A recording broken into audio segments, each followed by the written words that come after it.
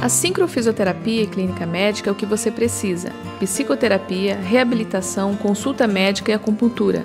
Venha para a Syncron. Agende seu horário pelo fone 3672 2278.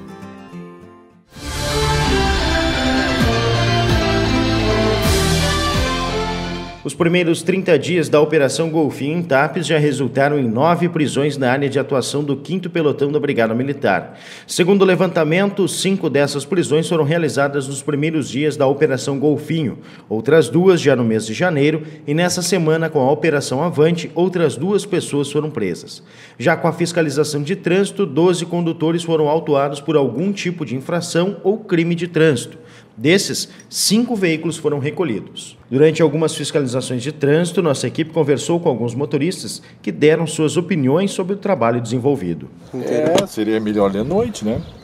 É. Que de noite que tem incidência de roubo, hein? Eu acho uma boa, porque como está tendo muito, como é que se diz, uh, abjeatos para fora, né? E o pessoal não anda respeitando muito, é muito bom que a polícia esteja fazendo essas barreira para cuidando o pessoal aí. Eu, eu concordo. Após uma reunião na Câmara de Vereadores de Tapes nesta semana, o sargento Luiz Veríssimo falou sobre a fiscalização de trânsito e o trabalho desenvolvido nesse verão. Uma coisa que eu quero frisar, eu, eu e o pessoal da, o nosso pessoal da brigada acompanha muito as redes sociais.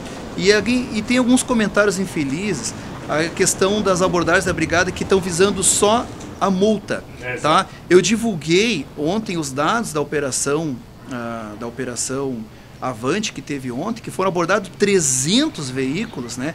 Uh, ah, 300 pessoas, me desculpa, e mais bastantes veículos ali. E se vocês acompanharem ali, o número de, de infrações de trânsito foram muito poucas, entendeu? Agora é claro, no momento que tu parar um veículo, tu tem que verificar a situação do, de documento do veículo ali e do condutor.